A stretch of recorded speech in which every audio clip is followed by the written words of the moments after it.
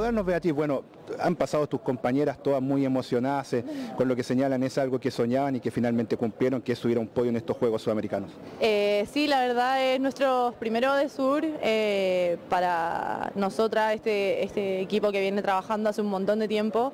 En lo personal son mis primeros de sur, siempre era como, no sé, como lo de sur, no sé qué, y con unas ganas de, venir y nunca se pudo.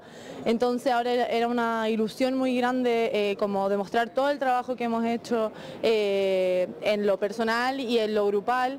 Así que no, súper contenta, súper feliz, súper feliz. Paula, tú lo dices, son tus primeros Juegos Sudamericanos. ¿Cómo los sentiste? ¿Cómo, más, más allá de la medalla, sino que el, vivir unos Juegos Sudamericanos, estar junto a tus compañeras, bueno, y finalmente obtener una medalla, pero en la sumatoria, ¿cómo, cómo sentiste, cómo viviste tus primeros Juegos Sudamericanos?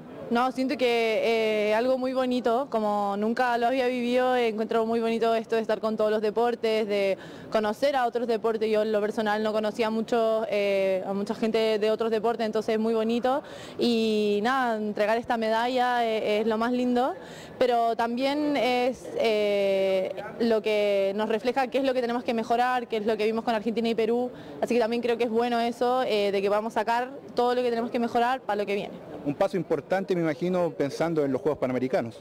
Claro, obvio, obvio, obvio, pensando en eso, estamos centrados en eso y a darle con todo nomás, con todo. Bueno, muchas gracias y felicitaciones, Nema. Muchas gracias, chao. Thank you.